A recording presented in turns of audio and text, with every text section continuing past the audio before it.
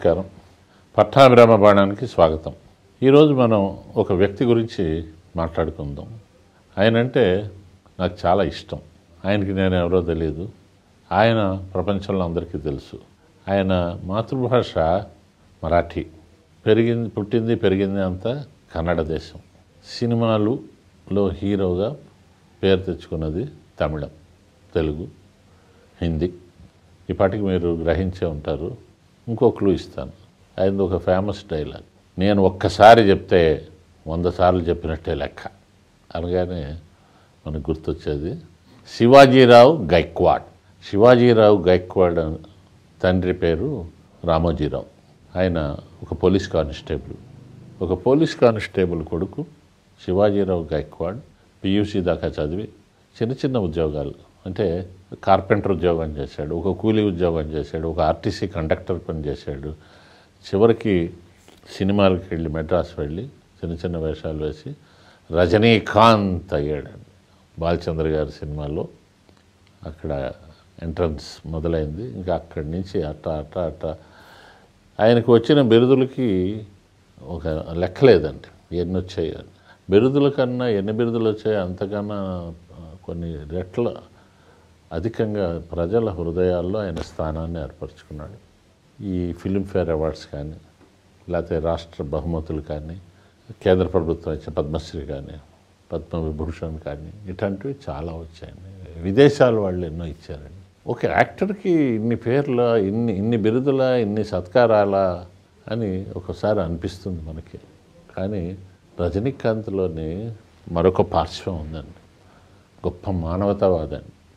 గొప్ప మానవతావాది ఆయన ఈ రోజుకి ఎంత సింపుల్గా ఉంటాడంటే తను ప్రారంభ దశలో ఎలా ఉండేవాడో ఇప్పటికీ అలాగే ఉంటాడు. సినిమాల్లో వేషాలు వేసినప్పుడు వేరు. చాలామంది మనం కొందరు హీరోల్ని చూస్తూ ఉంటాం హీరోయిన్లను చూస్తూ ఉంటాం. ఒక సాయంత్రం ఒక మీటింగ్ ఉన్నా ఒక పెళ్ళి ఉన్నా వాళ్ళు వస్తే సినిమాకి చేసుకున్నంత మేకప్ తోటి ఒక యంగ్గా కనపడాలని వాళ్ళు వస్తూ ఉంటారు. హీరోలాగా నిజంగా హీరోలా కనపడాలి లేకపోతే జనం గుర్తుపట్టరేమో అని. కానీ రజనీకాంత్ అలా కాదండి. అది రియల్ లైఫ్ అంటాడండి. రీల్ ఇది రియల్ లైఫ్ ఆయనకి ఇప్పుడు డెబ్భై ఏళ్ళండి.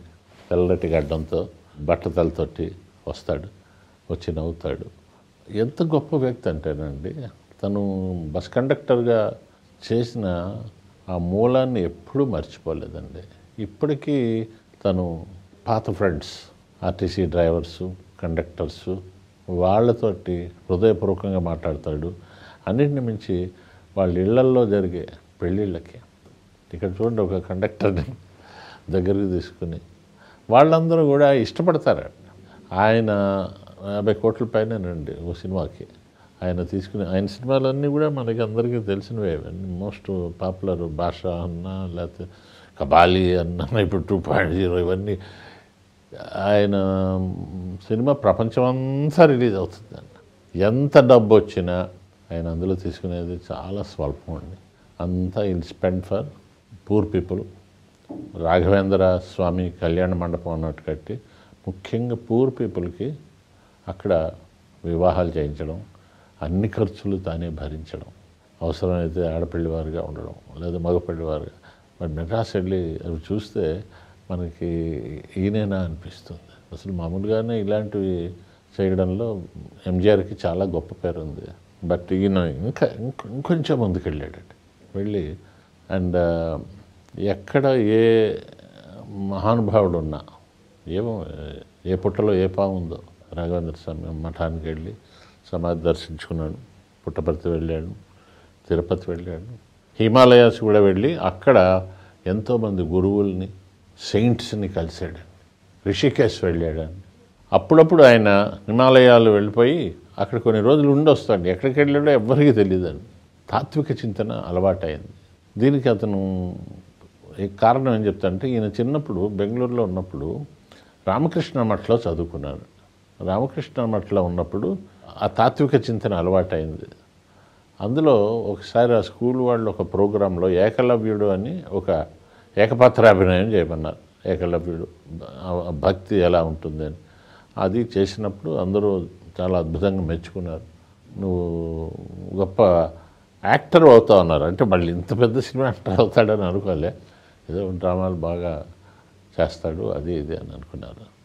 సో అలాగా పాపులర్ అయ్యాడు. తర్వాత ఆయన విషయంలో ఫ్యాన్స్ కావచ్చు లేకపోతే అభిమానించే వాళ్ళు కావచ్చు ముఖ్యంగా పూర్ పీపుల్ అండి.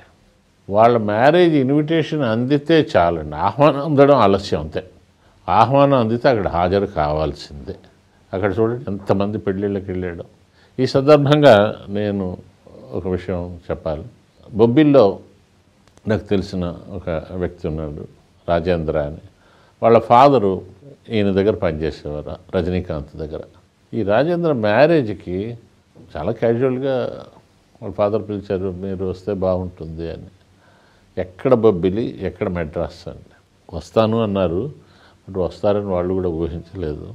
వైజాగ్ దాకా ఫ్లైట్లో వచ్చి వైజాగ్ నుంచి బై రోడ్ విజయనగరం శ్రీకాకుళం బొబ్బిలి. బొబ్బిలి వచ్చి ఆ ప్రోగ్రామ్కి ఉండి అక్షంతలు వేసి వెళ్ళాడు. జస్ట్ ఇమాజిన్ ఇది ప్రచారం కోసం కానీ ఇంకోటి వీలైనంత మటుకు ప్రెస్ ఎవరికి తెలియకుండా చేశారు. చాలామందికి తెలియదండి. ఒక బొబ్బిలివాసులు విశాఖపట్నం ఎయిర్పోర్ట్ వాళ్ళకి తెలుసు. నేను ఒక మ్యారేజ్కి వచ్చాడు ఇక్కడ. కొన్ని పత్రికలు ఆయన వెళ్ళిపోయిన తర్వాత రజనీకాంత్ బొబ్బిలు వచ్చారు ఇలా పెళ్ళికి వచ్చి వెళ్ళిపోయారు. అలాగా nook and corners of Tamil Nadu Bengaluru పెళ్ళిళ్ళు అయినప్పుడు కొన్ని సందర్భాల్లో తన షూటింగ్ను కూడా కొంచెం అటు ఇటు జరుపుకున్న రోజులు కూడా ఉన్నాయి. తనే ఆ- ఆ మ్యారేజ్కి వెళ్ళాలి. ఎందుకంటే ఈ సినిమాలు ఉంటాయి పోతాయి ఇవన్నీ. నాకు ముఖ్యం వాళ్ళు వాళ్ళ ఫ్యామిలీలో వాళ్ళ తరతరాలు వాళ్ళు ఎంత ఓల్డ్ అయినా మా పెళ్ళికి రజనీకాంత్ వచ్చాడు అని చెప్పుకోవాలి. నేను వాళ్ళకి సహాయం చేయాలి. చూడండి ఇది గొప్ప మానవతావాది. ఆయన మానవత్వాన్ని నమ్మాడండి. ఊరికే పేరుకేదో ఫలానా మతం ఏదో ఈ ఊళ్ళకి వెళ్తూ ఉంటాడని కానీ ఆయన అన్ని మతాల వాళ్ళ పెళ్ళిళ్ళకి వెళ్తాడు. అన్ని మతాల వాళ్ళకి వాళ్ళ వాళ్ళ ఆచారాలకు తగ్గట్టుగా ఆ టైంకి అడ్రస్ వేసుకోవడం వాళ్ళకి చేయగలిగిన సహాయం చేయడం. ఆయన అందుకనే ఇంత చేస్తాడు కాబట్టి జనం అతన్ని మీరు రాజకీయాల్లోకి రావాలి రాజకీయాల్లోకి రావాలి అని. ఆయన ఏంటంటే ఇంత నేను చేసి రాజకీయాల్లోకి వెళ్తే దీనికోసం చేసినట్టు అవుతుంది అని ఆయన వస్తాను వస్తాను వస్తాను వస్తాను అంటాడు. బట్ అంతర్లీనంగా ఆయనకి రావాలని లేదు. రజనీకాంత్ గారి విషయంలో గొప్ప ఒక రికార్డ్ ఏంటంటే ఆయన నాలుగు సంవత్సరాల్లో నాలుగు భాషల్లో యాభై సినిమాల్లో వేశాడు. మిగతా హీరోలు ఎవరైనా సరే నాలుగు రోజులు నాలుగు సంవత్సరాల్లో యాభై సినిమాలు వేసిన వాళ్ళు ఉండొచ్చు కొంచెం ఎక్కువ చేసిన వాళ్ళు కూడా ఉండొచ్చు. బట్ నాలుగు డిఫరెంట్ లాంగ్వేజెస్లో. తమిళం తెలుగు కన్నడ హిందీ. ఈ నాలుగు భాషల్లోనూ చాలా అవేవి మళ్ళీ డబ్బింగ్ కాదండి. ఇప్పుడు చంద్రముఖి అన్ని భాషల్లోకి వచ్చింది భాష అన్ని భాషల్లో అన్ని అన్నింటిలోకి వచ్చింది. అలా కాకుండా ఆ భాష కోసం ఆయన ప్రత్యేకంగా చేయడం జరిగింది. సో అటువంటి ఒక మహనీయుడు అతను ఏంటంటే ఒక సార్థకత అండి. అతను ప్రజల హృదయంలో ఎప్పటికీ ఉండిపోతాడు రజనీకాంత్. ఒక చిన్న అట్టడుగు ఇది నుంచి వచ్చి అలా పైకి వచ్చి తన రూట్స్ మర్చిపోలేదండి మూలాలు మర్చిపోలేదు. మూలం మర్చిపోకుండా నేను ఎక్కడి నుంచి వచ్చానో నాకు తెలుసు. సో నేను అటువంటి వారికి సహాయం చేయాలి. ఈయన పియూసీ దాకా మాత్రమే చదవగలిగాడు. ఆ తర్వాత ఫైనాన్షియల్ ప్రాబ్లమ్స్ వల్ల చదవలేకపోయాడు ఆయన.